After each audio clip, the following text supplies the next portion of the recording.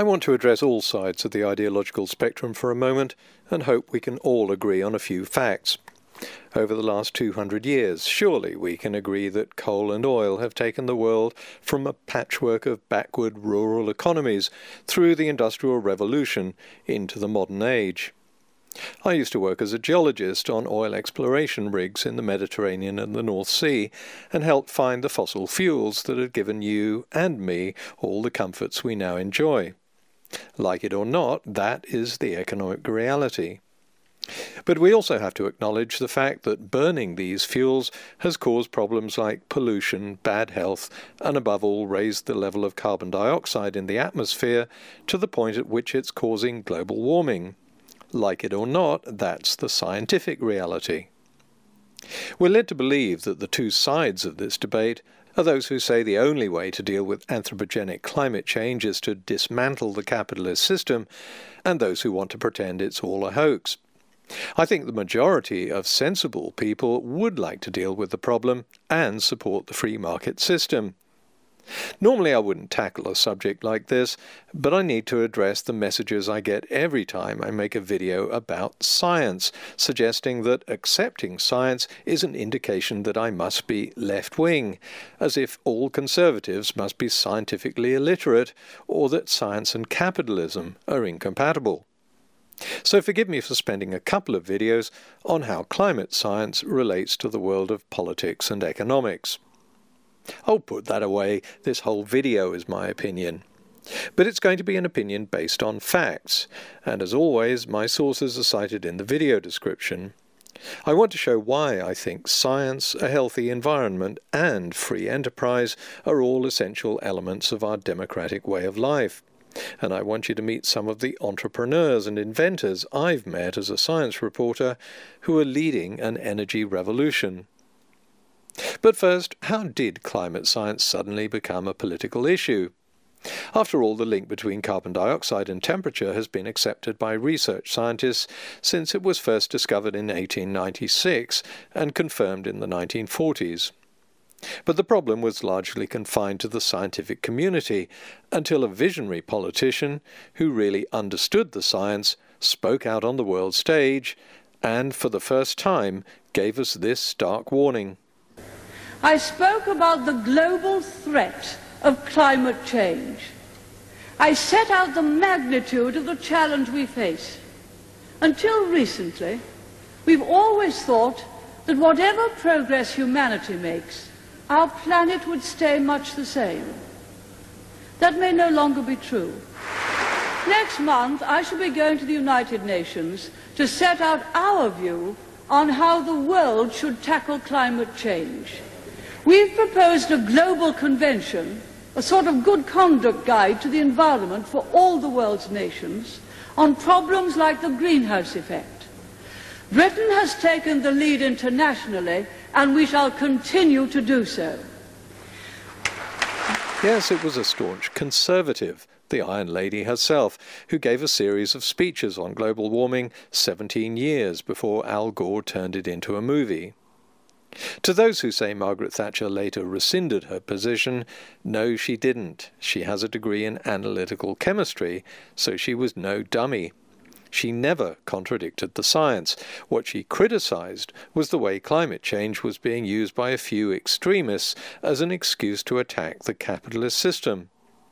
The problem is that in the United States, powerful lobby groups have taken this to mean that anyone who accepts the science must therefore be a member of this nutty anti capitalist fringe group. That's why there's very little room in the USA for the voices of intelligent, free thinking conservatives who do accept the science. If you want to carve out a career as a conservative pundit in the USA, you have to repeat the politically correct talking points. The idea that the Arctic ice is disappearing is nonsense uh, the idea that the hockey stick graph is anything remotely resembling reality. That's why they call it climate change now and not global warming because the, the Earth basically has not been warming for the last 15 okay, years. Okay, I'm not so. here to debunk all these internet myths. I've done that in previous videos, and so have many others. It's not hard to fact check, so there has to be a reason why Ben Shapiro is so willing to repeat these myths. Well, what Shapiro says next gives us a very revealing clue. All of which is to say, if you could come up with a solution that did not hurt millions of people and plunge us back into the 1850s, then maybe we could talk about it. So it's not really the science Ben has a problem with. It's his fear that those who accept the link between CO2 and global temperature have some sort of agenda and want to plunge us back to the 1850s. So he's only willing to accept the science if there's an acceptable solution. And he's not alone. China, India, U.S. factories, cars, coal energy plants, and Hummers, not those Hummers, are generating only 3% of the Earth's CO2. Again, I've already shown why this particular fallacy is wrong. It even made it onto my list of top 10 climate myths. So that's not the point here. Far more interesting is why Penn feels the need to regurgitate myths like this. And in more pensive mood, he tells us. I am not sure that all the tenets of global warming are true. It seems pretty likely things are getting warmer. Seems pretty likely it was anthropogenic in some way. But then there comes this whole bill of goods that that it has to be done by conservation, it has to be done by government intervention, and has to be all this done. And I was just saying that the whole package I didn't know about. So, as with Ben Shapiro, it's not really the science Penn has a problem with. He's only copying the politically correct talking points because he thinks the solution is more government control. We'll see why they think that in part two, but in the rest of the world, conservatives have no problem accepting climate science and free market solutions. Even 10 of the world's biggest oil and gas companies accept it. They say they're gearing themselves up for what they see as a huge transition into renewable energy. So, what are these conservatives seeing that a lot of American conservatives aren't? I figured out long ago that humans work most efficiently when we're free to do what we like, so let me be a voice that both extremes may not have heard before, belonging to the majority of people who don't think scientific facts and a healthy environment and free enterprise are incompatible. Let me explain my thinking. In my 20s, I began to formulate my idea of a government free society, which went like this Imagine an island called Freedonia, not owned by any country. People in search of freedom staked their claim and settled there, and agreed on just one rule. Everyone has the freedom to do whatever he or she wants own guns, smoke dope, start a pig farm, anything. But of course, if someone starts a pig farm in his backyard, that could pollute the water his neighbours use for drinking. So the inhabitants of Freedonia had to come together again to qualify the rule. Everyone has the freedom to do whatever he or she wants, as long as it doesn't infringe on the freedom of others. So I have the freedom to dump garbage in the ocean from my private beach if I want to.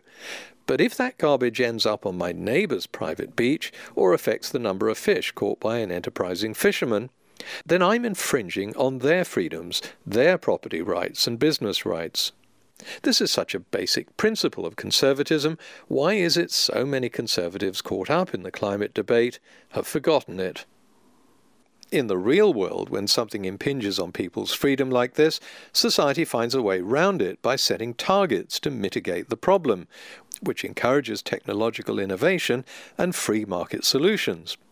For example, when leaded gasoline infringed on a child's freedom to grow up without brain impairment, the solution wasn't to ban cars or claim the researchers were faking their data, it was to phase out lead in gasoline and let the free market come up with an alternative which of course it did. The same thing happened with CFCs used in aerosol sprays that were breaking down the ozone layer. There was a rather feeble attempt to discredit scientists and claim it was all a hoax, but society accepted the science and the free market came up with alternatives. The point is that none of these innovations would have come about if we'd taken the attitude of Ben Shapiro, that you only recognize a problem if someone first comes up with a solution. Free enterprise doesn't work like that. It's the other way round. Science recognizes a problem, and then companies spend time and money coming up with a solution to fix it. As I said, I'll tackle these fears about plunging us back to the 1850s and greater government control in part two, but let's first look at a few other objections to the move towards CO2 reduction, starting with the President of the United States who thinks the Chinese government invented global warming in order to trick the US into spending billions of dollars fixing a problem that doesn't exist. Meanwhile, he says, the Chinese themselves are spending nothing, giving them a competitive edge. The reality is the polar opposite. First of all, clearly China didn't invent global warming. The link between CO2 and global temperature has been known about for 120 years. And far from doing nothing, China is now leading this energy revolution. For the last seven years, China has been the world's biggest producer and consumer of renewable energy. It's also the biggest investor in renewable energy research and manufacturing. In 2016, China accounted for more new solar thermal and onshore wind power than the United States and Europe put together. In 2017, it produced twice as much renewable power as the United States. Extremists on the left and on the right who claim this move to clean energy is incompatible with capitalism should try telling that to Chinese entrepreneurs like Huang Ming, a solar energy billionaire. He made his fortune manufacturing solar thermal tubes and built this huge research and manufacturing hub known as Solar Valley, south of Beijing. I spent three days here doing a profile on Huang Ming and he was dismissive of the claims that capitalism is incompatible with good environmental practice. China is investing in renewable energy not to save the planet, but because it makes economic sense. Rising sea levels, a lack of water from glacial melt, increasing droughts and floods, and stronger typhoons, regardless of whether POTUS thinks the Chinese made it all up, these things threaten China's future economic progress.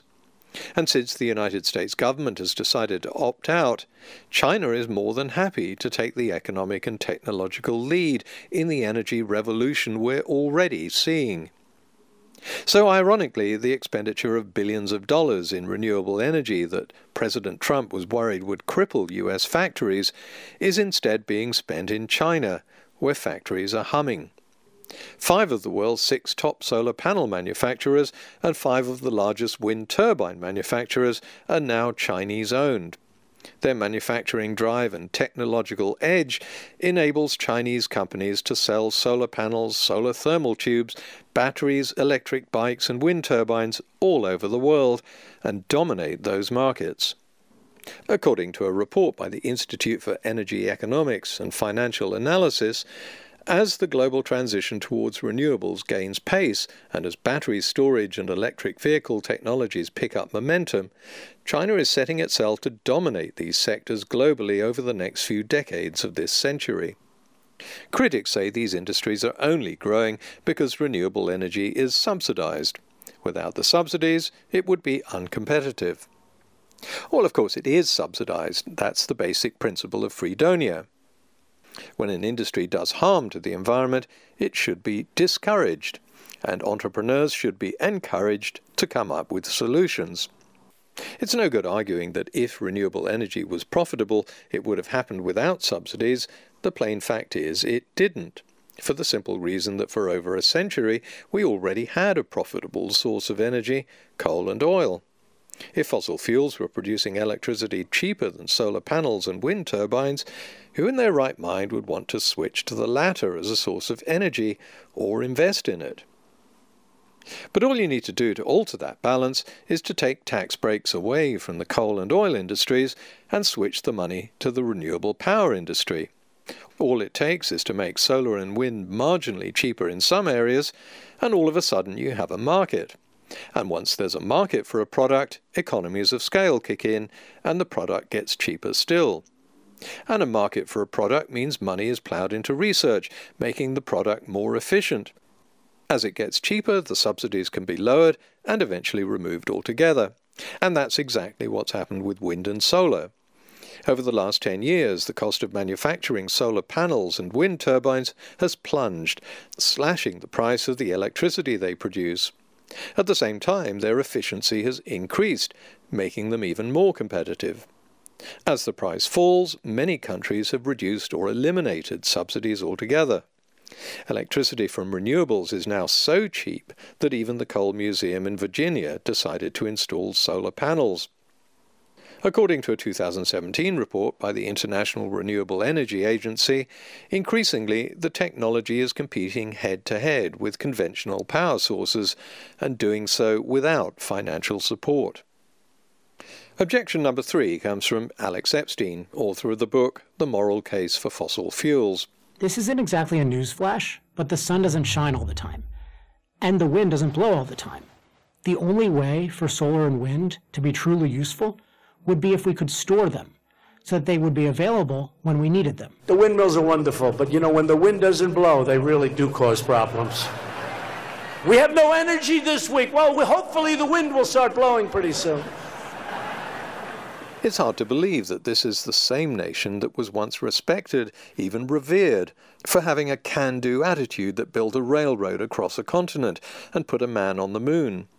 When faced with a problem, past generations of Americans didn't just give up, they looked for solutions. American know how and ingenuity was the envy of the world. These days, the attitude of, what can we do when the wind doesn't blow, means it's mostly other countries that are rolling up their sleeves and finding solutions.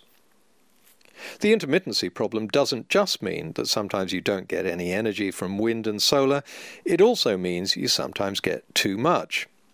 Wind energy is so plentiful in China that when I was in Beijing a few years ago, the country had to shut down a third of its wind turbines in the north because it couldn't use all the electricity they were producing. And I discovered that this is commonplace. Germany sometimes produces so much electricity from renewables that the price falls to below zero. In other words, plant operators have to pay consumers to use it. So what's needed is an efficient way of storing this excess. You can store oil in a tank. Where do you store solar or wind energy? No such mass storage system exists. Which is like saying we need to get to the moon in a rocket, but we can't do it because no such rocket exists. Or we have to build a railroad across America, uh, but it can't be done because there are mountains in the way. Come on, Americans, how far would the USA have got in the past with that attitude? If mass storage systems don't exist, roll up your sleeves and invent them. Then, hey presto, you get things that do exist, like this huge battery now feeding the grid in South Australia.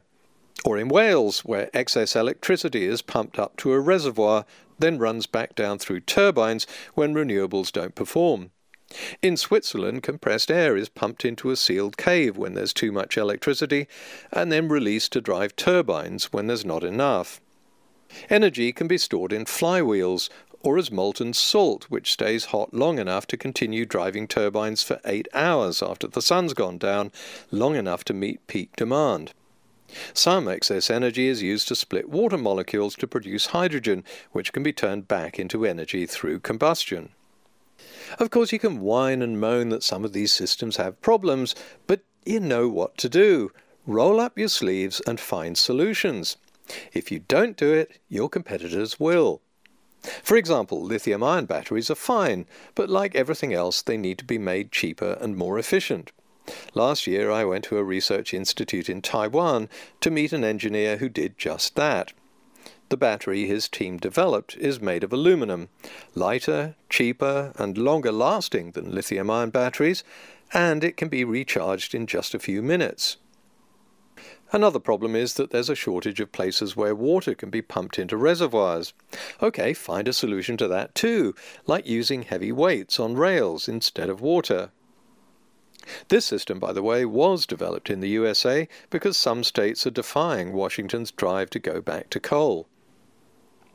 If you haven't got the message by now, you won't find solutions to a problem by pretending the problem doesn't exist. And you won't do it by whining that the solution doesn't exist. And you won't do it either by blaming capitalism and demanding that we go back to living in caves. Environmental problems get solved by recognizing a problem, setting common goals to eliminate it, and letting free enterprise and competition find the solution. In part two of this video, I'll look at how the Kyoto Protocol has fared. Did it bankrupt us, or did it actually succeed in reducing CO2 emissions? I'll talk about my visit to a carbon trading room How's carbon trading different to a carbon tax? The Australian government wants to bring the economy to its knees. Say no to the carbon tax. And what happened to Australia when it first introduced and later dropped the carbon tax? And I'll have more on the exciting technological advances that are not only bringing us cleaner energy, but also more efficient energy use.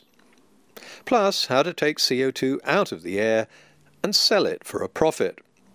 But before I go, listen to this clip from President Carter when he inaugurated a solar water heater on the roof of the White House in 1979. A generation from now, this solar heater can either be a curiosity, a museum piece, an example of a road not taken, or it can be just a small part of one of the greatest and most exciting adventures ever undertaken by the American people. If America had embarked on that journey in 1979 instead of 1997, which is when the rest of the world started that journey after the Kyoto Protocol, we'd be 20 years ahead of where we are now. We would have had competitive solar and wind power by 1999, and today we'd already be seeing the drastic cuts in carbon dioxide that are planned for 2040. And it would be America, not China, with the technological lead, selling these products to the rest of the world. But when Ronald Reagan came to office, the White House solar water heater was taken down. Where is it now? Well, Carter's words were prophetic. A museum piece, an example of a road not taken. To be precise, it's in Huang Ming's Solar Museum in Solar Valley an example of the road America didn't take and still won't take, but along which China is more than happy to lead the way.